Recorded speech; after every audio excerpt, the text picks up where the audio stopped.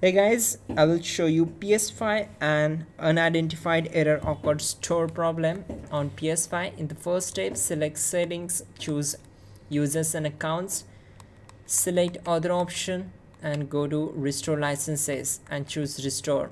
This will take around 4 to 5 seconds to complete the process. Before this, you need to close all the games and application on your PS5 and then go for restore licenses process then choose network select settings on the right side choose setup internet connection.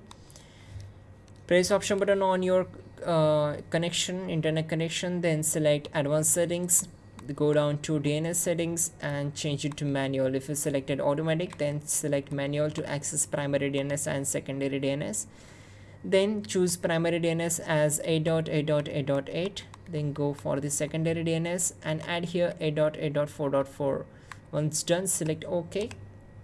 Go back to the main settings. Choose network again. Select connection status. On the right side choose view playstation network status.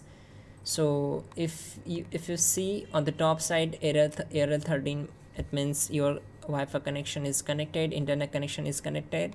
Then go for the view playstation network status. And here you need to wait for a few seconds to load the screen and there we go. Make sure you have to uh, you will get here. All the services are up and running. Once done what you have to do simply restart the ps5 and your problem will be fixed. That's it guys. Comment awesome in the comment box. So i will heart your comment and you're good to go